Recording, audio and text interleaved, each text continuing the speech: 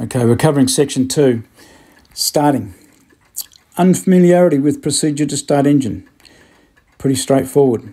Well, it's changed a little bit nowadays. You have to hold the clutch in uh, with the gear stick in neutral to turn the motor on. That's always been the way. Your handbrake should be on.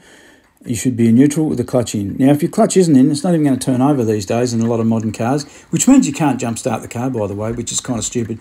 If you ever get a flat battery, you can't dump the clutch uh, in, in gear when you're rolling it down a hill because uh, that overrides it. That's another story. Starting procedure. You've got to be knowing what to do. Racer's engine. You don't rev the living shit out of it once you get it started. Unless it's grandma's car, don't do that because it's not going to look good in a driving test either. So that's pretty straightforward. Don't rev the shit out of it. You can work it out what speed, what engine speed you're doing. Fails to depress, depress clutch pedal well in a manual car, of course, you've got to hold the clutch in to start it. In neutral with the clutch in, so it's a double protection about so you don't run over some poor bastard standing in front or behind the car. Uses wrong gear to start. Well, that's obvious too. You start off in first or reverse when you're moving off. That's what it's talking about. You don't try and take off in second. Even at the top of a hill, they don't like it if you're getting assessed. And it's probably not the best way to do it. In trucks, totally different. You, you be in the gear you need to move off on. That's, that's fairly straightforward with a truck. Uh, you can skip shift as well. We'll cover that a bit later, but skip shifting is quite appropriate, uh, even in the modern car. Especially now, they like to put about 20 gears in cars when you don't need that many bloody gears. It's like having 25 on a push bike and you only need three. However, they're doing that now, six gears in a car, trying to get fuel efficiency.